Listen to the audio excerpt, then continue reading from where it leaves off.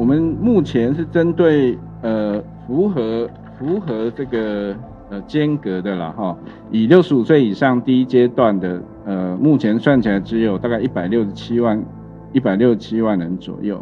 那呃，所以针对这个部分，大概是会分批啦哈，所以我们一开始来是有八十万，我们会针对那个八十万，就是呃的部分来先先分出大概差不多呃四十一万左右。那依照这个各县市的比例，我们是根据刚刚算出来那个一百六十七万里面去呃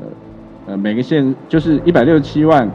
那呃，它的二十五 percent 大概是四十一万左右啊。那这四十一万就是依照比例就分配到各个县市啊。根据刚刚讲的各个县市，它我们符合这个六十五岁以上可以接种间隔的这些人，好，那这些每个县市大概它的二十五二十五%左右先分配下去。那第二次再再再。配送大概呃三十三万左右下去，那未来当然是看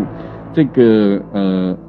呃整个施打的状况，因为我们呃如果有有两两批呃一百六十万啊，就是说刚刚讲的一个是礼拜五，另外一个礼拜天哈，那这个部分如果真的有确定进来，那当然就是看是这个施打状况，我们会再加配下去哈。那至于说呃。目前是规划啦，就是说那三百万可能都会在月底之前会陆续送来，对。